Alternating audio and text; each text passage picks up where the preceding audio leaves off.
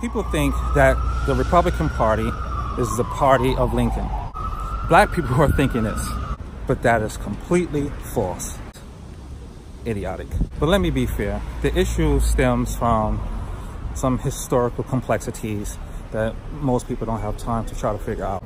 And I'm gonna do that here. So I'm gonna try to keep this short and sweet. First things first, we have to understand that the South is the problem. We have to think about things in terms of regions and ideology. The South is the house of pro-slavery. It's the source of the ideology that is anti-black, okay?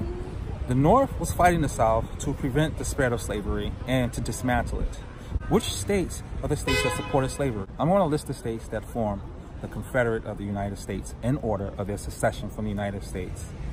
These states are South Carolina, Mississippi, Florida, Alabama, Georgia, Louisiana, Texas, Virginia, Arkansas, North Carolina, and Tennessee, and let's throw in Missouri and Kentucky.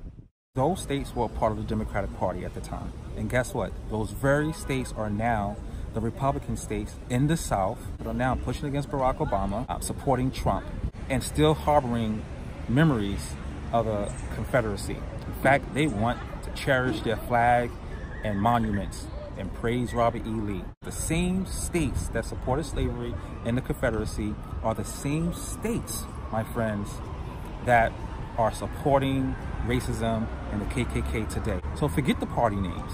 In other words, these states, the southern states against Lincoln, you can call them Democrat or whatever, are the states that are now supporting Trump that are now supporting the Tiki torturement out here, that are now bringing back the KKK and bringing out neo-Nazis.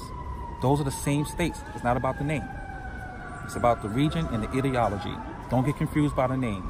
On the flip side of this, those north, eastern, midwestern states that were fighting against slavery, fighting the Confederacy, are pretty much the parents. They're pretty much the parents of the states right now that are fighting against Trump and those tiki torches and the KKK. And that's it. Now you understand the misunderstanding.